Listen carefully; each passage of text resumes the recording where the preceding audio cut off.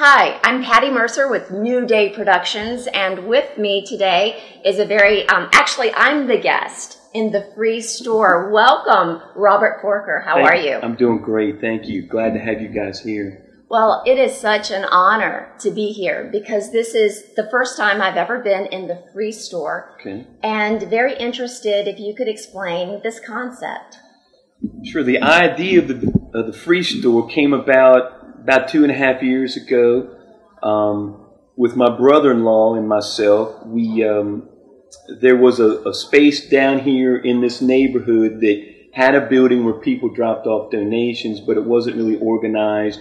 Um, nobody was really kind of keeping an eye on it. We were looking for a different type of ministry, and so we sort of seized upon the idea of taking this idea of the free store. You can bring what you want and take what you need. So regardless of whether you have a job or you're jobless or whether you have a home or you're homeless, mm-hmm. you can bring things and you can take things. Wow. And you don't have to qualify for it. Mm-hmm. You don't have to show an ID. There's no limit on what you can take or what you can bring. We truly wanted it to be a free store. And if there was something that the store had that you could use, you were welcome to. Wow. Now, you know, you talk about a free store, and yet it's located in a house. In fact, the very first impression I had as I drove by was this very uh, welcoming front yard where there was activity, there was energy, seemed like people just relating to each other and talking, and it wasn't anything like I expected uh, a donation center or a free store to look like. Can you tell me and, and tell our viewers a little bit about, um, you know, how it is different? Sure. That's the other aspect of the free store. When we decided we wanted to put this together, we wanted to be more than just about stuff. Um, everybody has stuff.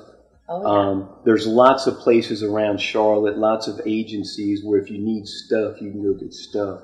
We wanted something that was very relational. And so we have clothes and shoes and toothbrushes and toothpaste and socks and books and some things like that as a way to draw people in. Mm-hmm. But what we really want to be about is relationships. Mm-hmm. We want the free store to be relationship driven. We've got a front porch. We've always got a pot of coffee on.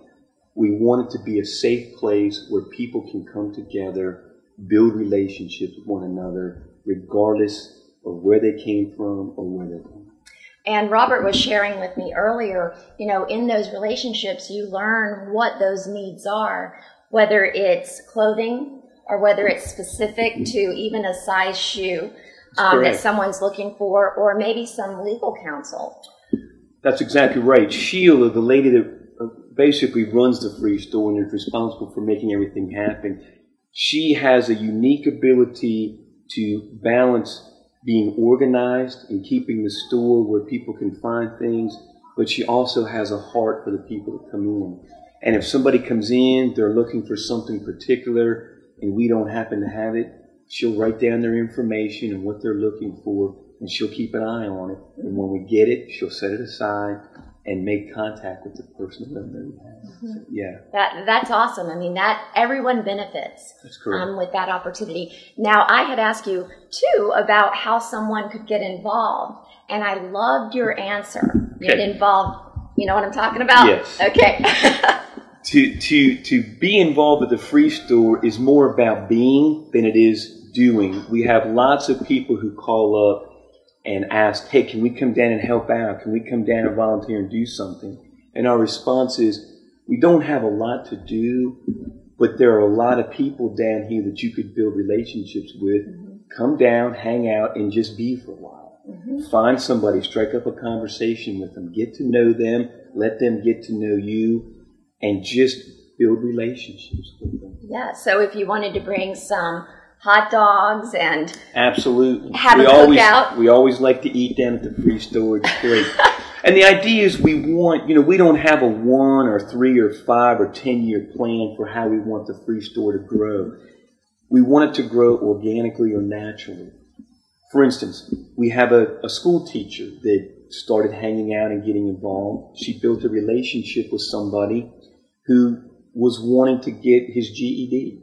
And so she started coming down twice a week and tutoring him. Now, we can't build that into a one or three or five year plan about what we want the free store to be. So, regardless of what your vocation is or your skill set is, come hang out, get to know somebody, and then if there's a connection you can make, something that you can do to further that connection, that's what we encourage. Mm-hmm, mm-hmm. I love that. It's really all about relationships. And in fact, one of the things that we're going to be talking about as well is a benefits concert. Yes. Coming up, which again, the concept, the idea, rolling into an action plan is a relationship. It is. The idea of the, of the concert is we wanted a fun event where people could come together. We've tried to get various genres of music because again, we want people coming together that enjoy different types of music.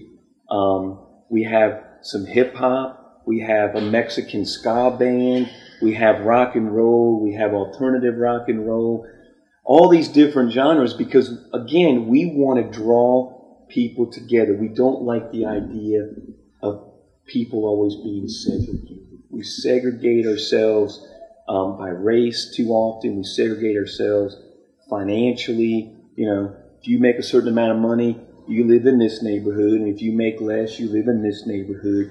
We don't like the idea that. We like to bring people together. So um, the the concert is to raise funds for a couple of local charities, the Free Store and Samaritan's Feet. Mm-hmm. But we're also promoting a lot of local area bands because again, we want to bring people together and celebrate some of the music that's in Charlotte.